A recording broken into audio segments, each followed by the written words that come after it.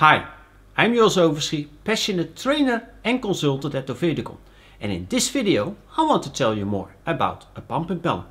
And we do that by telling you about the function, the parts and the rotation direction, but also why has a certain impeller a certain capacity and a certain impeller a certain total head.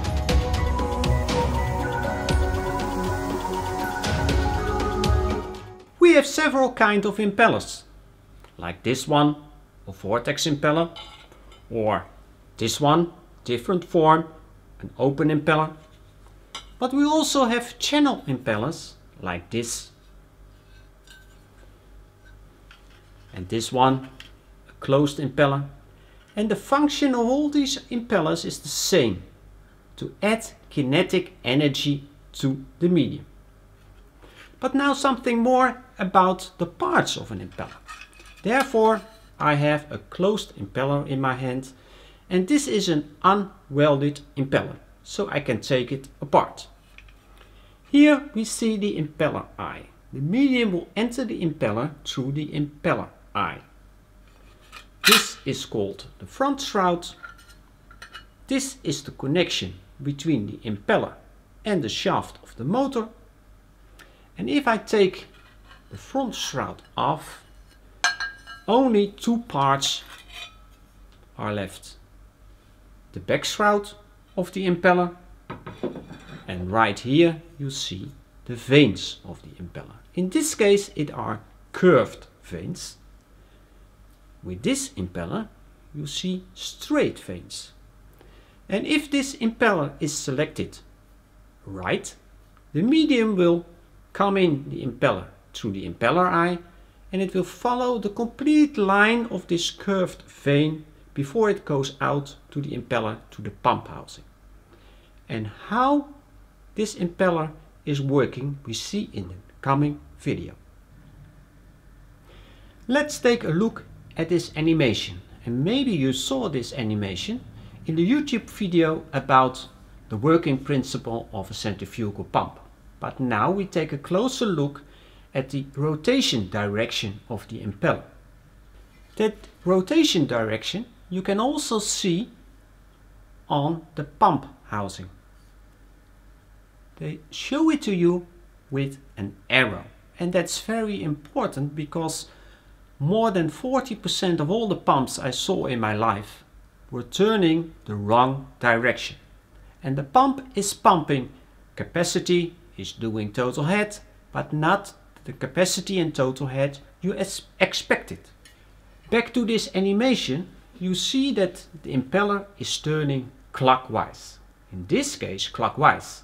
There are pumps where the right turning direction, rotation direction of the impeller is anti-clockwise, so be aware of that. I already showed you the curved vanes of the impeller. And as you see in the animation, the impeller is throwing the medium away and not scooping the medium. It has to follow the complete curved line of the impeller to get the expected capacity and total head of the pump.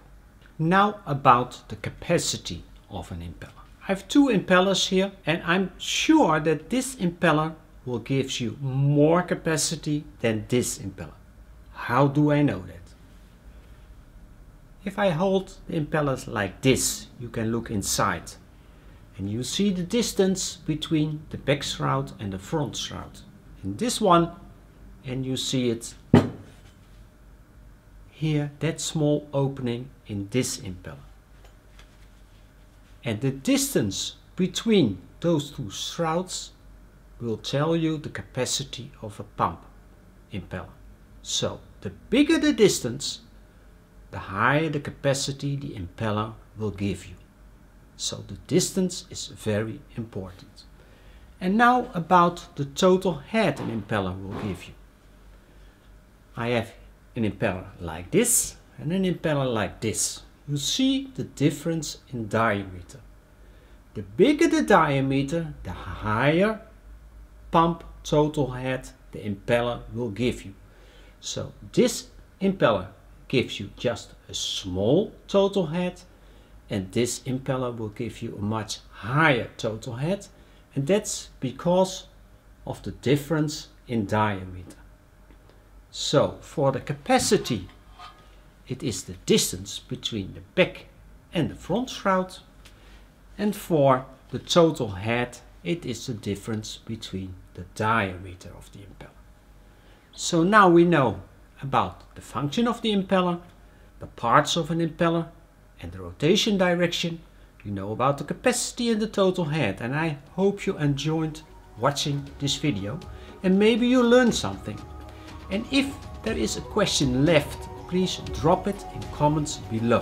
And if you want to learn more, take a look on our website and see what e-learning courses are available and what for consultancy work we did in the field. And I hope to see you again. Bye!